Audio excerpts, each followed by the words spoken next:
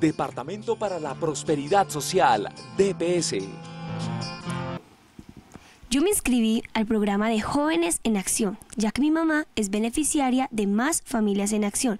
Por medio del SENA yo podría estudiar enfermería, ya que es la carrera que más me llama la atención, y en un futuro llegar a ser una persona independiente y así ayudar a mi familia para lograr un mejor bienestar para todos. Como Mariana, 12.000 jóvenes en Medellín son potenciales beneficiarios de Jóvenes en Acción, programa que les otorga oportunidades de formación técnica y tecnológica en el SENA.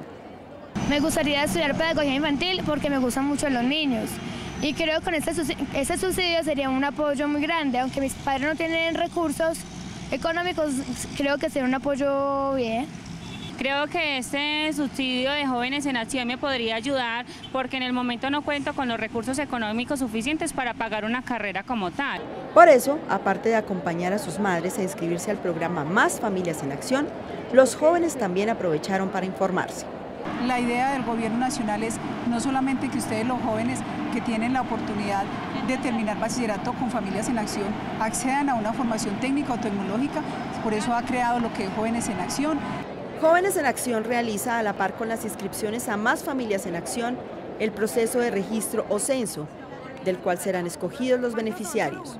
Más adelante se surtirá el proceso de inscripción y el proceso de taller de identificación de interés ocupacional o perfil ocupacional que nos posibilite que estos jóvenes estudien para los que son competentes. En Antioquia, el programa ya realizó el registro de jóvenes en Bello, Itagüí, Envigado y Apartado y espera que, como Mariana, muchos más jóvenes se beneficien.